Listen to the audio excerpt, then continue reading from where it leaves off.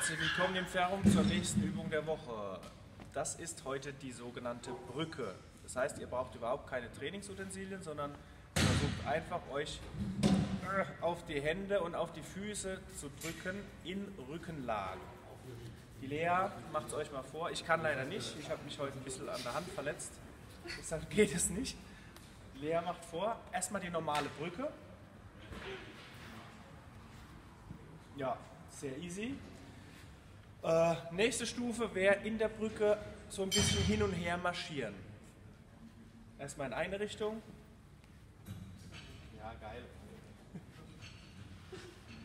Versuch mal zurück. ja, super. Super, cool.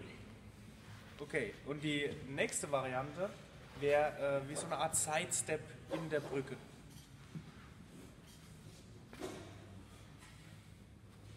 Ja, cool. Okay, supi. Versucht's mal daheim. Viel Spaß dabei, ist bestimmt witzig. Vielen Dank, Lea. Bis zum nächsten Mal. Ciao.